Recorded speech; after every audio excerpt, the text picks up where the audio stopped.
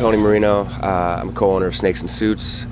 Um, we started in October of 07, and uh, basically started the line because we were um, we wanted to put out something that we actually thought was decent clothing. Thought it'd be good to like make a, a clothing line that actually made sense to people and wasn't just bright neon colors. I try not to go with a lot of these scene clothing companies that typically copy each other and just follow whatever's hot right now. We try to set our own trends while keeping a good fashion sense.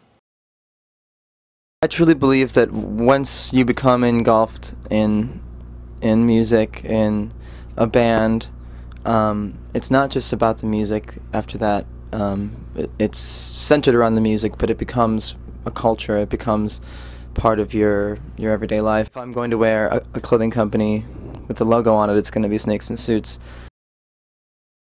I really like their clothes. They're pretty and they have pretty colors and unique and it's comfortable. because clothing company. This balance is where our hearts desire. I'm trying to make it alone. New spring line's gonna come out also right around the time Bamboozle is, so which is the end of April.